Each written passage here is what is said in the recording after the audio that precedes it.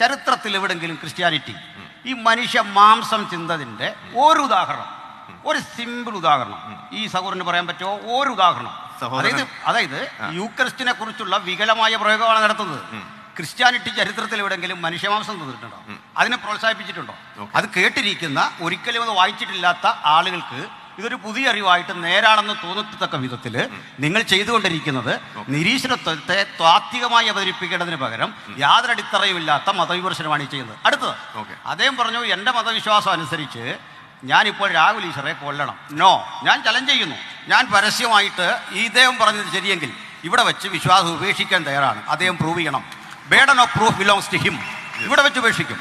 ബൈബിളിൽ ഞാൻ ന്യൂ ടെസ്റ്റ്മെന്റിന്റെ പ്രതിനിധിയാണ്. രണ്ടായിരം ആണ്ടിലെ ക്രിസ്തീയ വിശ്വാസത്തിന്റെ ചരിത്രത്തിൽ ഇരുപത്തിയേഴ് പുസ്തകങ്ങളുള്ള ക്രിസ്ത്യാനിത്വത്തിന്റെ ആധാരശിലയായ പുതുനിയമത്തിൽ എവിടെങ്കിലും മനുഷ്യനെ അന്യമതസ്ഥനെ കൊല്ലാൻ ഒരു വചനം ഒറ്റ വചനം.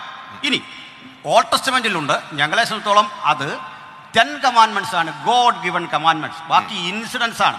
മനുഷ്യൻ ചെയ്ത തെറ്റുകൾ തെറ്റായ നടപടിക്രമങ്ങൾ സിവിൽ റൂളുകൾ അന്നത്തെ ക്രിമിനൽ റൂൾസ് അതിനെ തെറ്റായി ഇന്റർപ്രറ്റ് ചെയ്താണ് അദ്ദേഹം സംസാരിക്കുന്നത്. ക്രിസ്ത്യാനിറ്റിയെ കുറിച്ച് പറയുമ്പോൾ ജൂതമതത്തിന്റെ ഏതെങ്കിലും പാരമ്പര്യങ്ങളോ ആന്റിക്വിറ്റീസ് എടുത്തല്ല ചർച്ച ചെയ്യേണ്ടത്. പ്രമാണം എടുത്തിട്ട് അങ്ങേക്ക് പറയാൻ പറ്റുമെങ്കിൽ നിങ്ങളുടെ എല്ലാം മുമ്പിൽ നിന്നുകൊണ്ട് ഞാൻ ഈ ഗ്ലോബൽ എസൻസിന്റെ ഭാഗമാകും. അദ്ദേഹം ന്യൂ ടെസ്റ്റ്മെന്റ് ഉപയോഗിച്ചിട്ട് ക്രിസ്ത്യാനിറ്റിയുടെ വിശ്വാസ പ്രമാണം ഉപയോഗിച്ചിട്ട് എന്നോട് ചർച്ചയ്ക്ക് വരട്ടെ. ഞാൻ ഇവിടെ വെച്ച് പറഞ്ഞ വാക്ക് പാലിക്കും. യെസ് ഐസക് ഒന്ന് പ്രതികരിക്കാവും. ഞാൻ ന്യൂ ടെസ്റ്റ്മെന്റ് വെച്ചിട്ട് തന്നെയാണ് പറയുന്നത്. ആദ്യം എനിക്കൊരു വചനം ചെറുതായിട്ടൊന്ന് വായിക്കാനുള്ള കാരണം ഞാൻ വചനം ബേസ്ഡാണ് എല്ലാം ചെയ്യുന്നത്.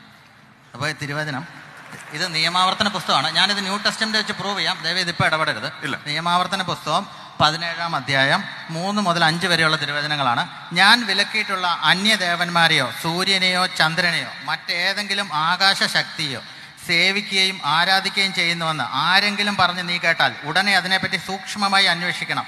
ഇസ്രായേലിൽ അങ്ങനെ ഒരു ഹീനകൃത്യം നടത്തിയിരിക്കുന്നത് തെളിഞ്ഞാൽ ആ തിന്മ പ്രവർത്തിച്ചയാളെ പട്ടണവാതിക്കൽ കൊണ്ടുവന്ന് കല്ലെറിഞ്ഞ് കൊല്ലണം.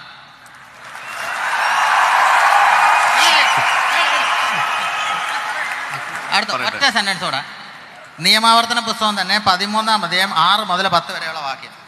നിന്റെ സഹോദരനോ മകനോ മകളോ നീ സ്നേഹിക്കുന്ന നിന്റെ ഭാര്യയോ ആത്മമൃത്തമോ നിനക്ക് നിനക്കും നിന്റെ പിതാക്കന്മാർക്കും അജ്ഞാതരായ അഗ്നിദേവന്മാരെ നമുക്ക് സേവിക്കാം എന്ന് പറഞ്ഞ് രഹസ്യമായി നിന്നെ വശീകരിക്കാം. ആ ദേവന്മാർ നിനക്ക് ചുറ്റും വതി വസിക്കുന്ന അടുത്തോ അകലെയോ വസിക്കുന്ന ജനതകളുടെ സേവ ദേവന്മാരായിരിക്കാം. എന്നാൽ നീ അവന് സമ്മതം നൽകുകയോ അവനെ ചെവിക്കൊള്ളുകയോ ചെയ്യരുത്. അവനോട് കരുണ കാണിക്കരുത്. അവനെ വെറുതെ വിടരുത്. അവനെ കുറ്റം ഒളിച്ചു വെക്കരുത്. അവനെ കൊല്ലുക തന്നെ വേണം. അവനെ വധിക്കാൻ നിന്റെ കരമാണ് ആദ്യം ഉയരേണ്ടത്. എനിക്ക് തോന്നുന്നു അവനെ വധിക്കാൻ നിന്റെ കരമാണ് ആദ്യം ഉയരേണ്ടത്. പിന്നീട് ജനം മുഴുവന്റെയും നീ അവനെ കല്ലെറിഞ്ഞു കൊല്ലണം. എന്തെന്നാൽ അടിമത്തത്തിൽ നിന്ന് രക്ഷിച്ച നിന്റെ പിതാവായ ദൈവം ഞാനാണ്.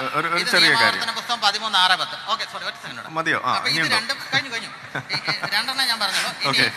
ഇത് രണ്ടും പഴയ നിയമമാണ് സമ്മതിക്കുന്നു. ഞാൻ പുതിയ നിയമം അനുസരിച്ച് മാത്രമേ പറയുന്നുള്ളൂ. അതുകൊണ്ടാണ് ഞാൻ നിങ്ങളെ മത്തായുടെ സുവിശേഷം അത് പുതിയ നിയമമാണ് മത്തായുടെ സുവിശേഷം അഞ്ചാം അധ്യായം.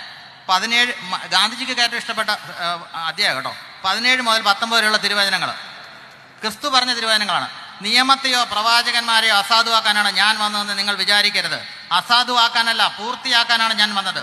ആകാശവും ഭൂമിയും കടന്നത് പോകുന്നതുവരെ വരെ സമസ്തവും നിറവോടുവോളം നിയമത്തിൽ നിന്ന് വള്ളിയോ പുള്ളിയോ മാറുകയില്ല. ഈ പ്രമാണങ്ങളിൽ ഏറ്റവും നിസ്സാരമായി ഒന്ന് ലംഘിക്കുകയോ ലംഘിക്കാൻ പഠിപ്പിക്കുകയോ ചെയ്യുന്നവൻ സ്വർഗരാജ്യത്തിൽ ചെറിയവൻ എന്ന് വിളിക്കപ്പെടും. അതായത് ഈ പറഞ്ഞ പ്രമാണങ്ങളിൽ ഒരു പുള്ളിയെങ്കിലും നിങ്ങൾ തെറ്റിച്ചാൽ നിങ്ങൾ തള്ളുന്നത് ക്രിസ്തുവിനെയാണ്. അദ്ദേഹം പഴയ നിയമം തള്ളുകയാണെങ്കിൽ അദ്ദേഹത്തെ ഞാൻ സ്വാഗതം ചെയ്യുന്നു. അതിനോടൊപ്പം അദ്ദേഹം ക്രിസ്തുവിനെയും തള്ളുന്നു.